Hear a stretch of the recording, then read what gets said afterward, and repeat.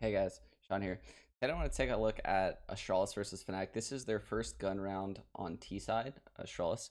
Um, and I'm not really going to break down a strat per se, but I'm going to show you guys how everyone on Astralis understands rotations and you know how to move through the map and trade kills really well. And this is something I preach all the time on my stream, and it's it's kind of hard to show people what I mean, but I think this is an excellent round to showcase you know just how fundamentally solid a team like Astralis is. So without further ado, let's take a look. So they do a lot of things in this round that like I preached to my teams for years now.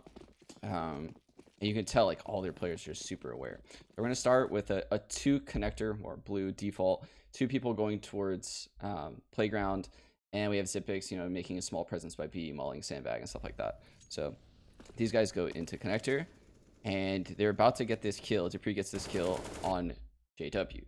Okay, so what does this mean in like the grand picture thing? So this is something like I've told my teams a lot in the past, and I'm sure Astralis might think similar things. I'm not 100%, but when you find a person inside blue, they're typically paired with people that push short B because the two work really well together, right?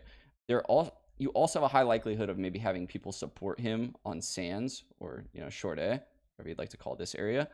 But you're not likely to find people in long A because they don't pair well together. And if you were to play, say, connector and long A together, they would both be taking, you know, 1vx stools, which isn't favorable at, at the top level, right? So immediately what you're going to see is the Device is going to now prod towards long A, right? So He's going to head towards long A. He's taking his time, clearing out all these angles one by one, but he's taking engagements all by himself. Engagements that he probably wouldn't take if it were a 5v5 with no info, right? So you see the connector people actually fall back. Uh, one of them does actually. Xyp9x comes back from B, and together they're clearing short. Okay, so these three are now clearing short A together. Their spacing is very, very strong. So this is a, a smoke that Krimz through down. Again, this is a light buy. Third round of the half, they lost pistol. So keeping everything in perspective, this is their utility right now. Not much, right? Um, is working up connector, and he's in a scenario where if he were to encounter people in co connector, dupreeh would be able to swing down and trade that kill. Glaive would be right there with him. Um, they would all be ready to, you know, trade that kill in connector. What they're realizing right now is they have no B presence, and it's very, very likely at this point in the round, you know, there is a guy in short B and they're probably playing heavier towards the A site, right? So what you're going to see Astralis do at this point in the round is actually really smart. They're going to fake the A bomb site um, as Krimz's Smoke fades, and Device is going to make a presence and get spotted long A. And I'm going to show you guys what that does to the rotations. Okay, so we have Device working towards long A, and he spots the jump spot right there. So now he's immediately going to smoke back wall site. So he's smoking back wall site. These guys also just kind of made some noise at short. You see, you know, there's actually a nade that blew up to his right, right there, uh, dupreeh's right. So it's going to cause a shift in the Fnatic players. You can see flusha has already left short B. Lekr0's already like looks like he's, you know, heading back towards the A site. And almost immediately you're going to see the Astralis players say, okay, now's the time that B is weak. Let's head back to B. We pulled the rotation from B, and you can see they're pulling flusha away from B. And it's actually Lekr0 who's ended up staying just because I think he's more of an anchor player than flusha. You can see flusha rotating around a lot more on Fnatic. Um, Device doesn't overstay as welcome. He doesn't blow this five on four. Like I see this even a lot at the top level where you know, this person long feels like they need to commit. They don't need to commit.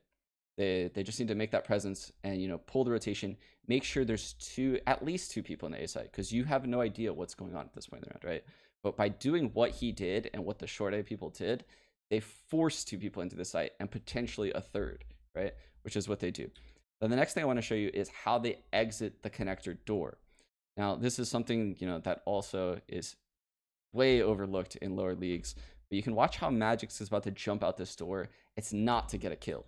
He's going to jump out to make the first guy miss, and it's the guy behind him's responsibility to trade that kill, right? Oftentimes you'll see like lower tier teams, they'll open the door and they'll, they'll hesitate. They'll stagnate around the door and the first guy dies.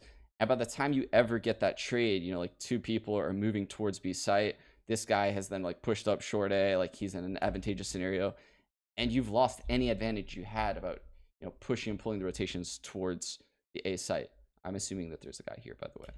Um, so let's take a look at how he exits this. So he jumps. You can see he like literally doesn't stop running, and he goes left. He doesn't hook right. That's very important to note. Um, the next thing is you can see dupreeh is the last one out of the bunch. He is going to actually stay in here and flash these guys to go monster. Now, why are they going out monster? Well, you go out monster in these late round scenarios with low nades because, I mean, imagine running through sandbag. You have to look, you know, you have to look towards graffiti. You have to look towards this pit area. You have to look towards, or I'm sorry, the ramp area. You have to look towards pit. You have to worry about the pillar right here. You have to worry about barrels. You have to also look right. So you don't want to entry out of the sandbag position. So Astralis knows this, and they send the bulk of their team out monster. And dupreeh, as the last guy, is going to flash them out. So on the way towards monster, I think it's Glaive. He might smoke heaven, which is the only thing you need to really smoke coming out monster in a late round scenario like this, because it allows you to take engagements on the right side of the pillar. Right? Imagine taking the B site without a heaven smoke. You're not very comfortable about peeking the right side of the pillar because a guy heaven could fight you as you're fighting, you know, someone from here or pit, and you end up in like a triple crossfire kind of scenario without even realizing it. So smoking heaven is the only important piece of utility right here, and they all know that. Like this isn't some kind of prearranged strat this round, and that that's what I'm trying to make the point of saying here. You can see, let's actually watch this from dupreeh's perspective because you can tell how important he knows his role is in getting this flash off right here. So he's getting ready to line it up. His teammates are running towards monster, and he gets peeked by Lekr0, right? Now, most people in the scenario would be like, okay, fuck the flash, right? fuck the flash. But he still manages to get this flash off. Device is right behind him. He's coming from long A. And together they're going to come out monster, right? So they swing pillar. You can see first guy swings his left. Next two swing right. And they aggressively take the site. And they smoke off rotations.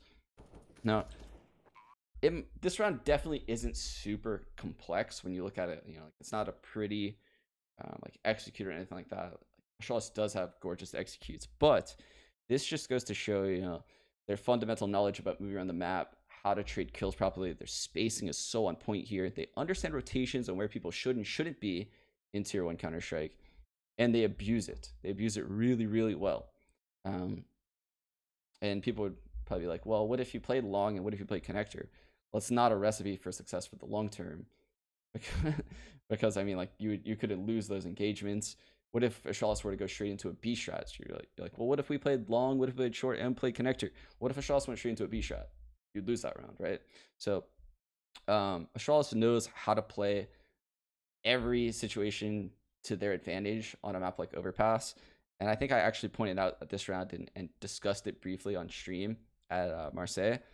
Uh, but I thought it'd be important to make a video of it just to show you guys, you know, how meticulous this team is. And even a round that looks like a total shit show, they're very, very organized uh, throughout the entire round. So anyway, I hope you guys like this kind of video.